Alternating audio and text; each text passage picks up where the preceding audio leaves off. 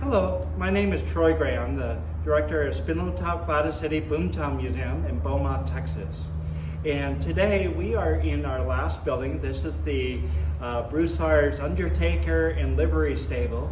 And uh, we, there in here is a lot of uh, oil field equipment. There's coffins, there's uh, wagons. Uh, today, our object of the week is the Yellow Dog Derrick Lantern. And this was a particular type of lantern that was popular during the late 1800s and early 1900s. Uh, this uh, was used late uh, for late night lighting around the oil derrick, drilling derricks so as not to stop the process of retrieving the crude oil because of course they were getting a lot of oil so they didn't want to stop even when the sun set. The, uh, these were patented by the inventor Jonathan Dillon of Petroleum Center, Pennsylvania and the U.S. patent was established on May 3rd, 1870. So this does predate, uh, at least the technology predates uh, uh, Spindletop. Some lore that can be associated with this special lamp is that the two burning wicks uh, seem like the glowing eyes of a dog at nighttime, and the shadow of the lamp looked like a dog's head on the derrick floor. Uh, hence the name, right?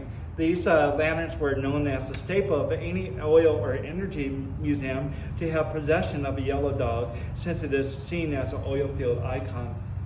Dillon stated that the lamp was intended to burn crude oil as it comes from the wells fresh and gassy. Uh, the lamps were later assigned to John Eaton and E.H. Cole, which helped establish many oil equipment companies for the next couple of decades, such as the Oil Well Supply Company, the same one that's on our uh, lantern, and the Forest Oil Corporation, which later adopted the image of the yellow dog Derrick lantern as their logo in 1916. So with all of this in mind, this invention helped with the process of furthering the ideas of inventors on what else they could create with the help of crude oil. So it's a really interesting piece. Uh, many people somewhat miss it. We do have some text panel here for it, but uh, it's one of our more interesting pieces in here. Uh, so uh, tonight, if you um, are able to, this is the beginning of the Museum Madness weekend. So we get to begin tonight with our Spindletop Spook Fest. We'll have people here uh, giving out candy. We usually have games, but we're not doing that this year. We'll add that back next year. And uh, but at, uh, after the candy, we're going to start a movie out here. First time ever to do that uh, because it's Museum Madness weekend. We're going to show at night at the museum. Everybody loves that movie, so come out, uh, bring your lawn chairs. We'll have some chairs out here, uh, but it should be a good night to watch a movie.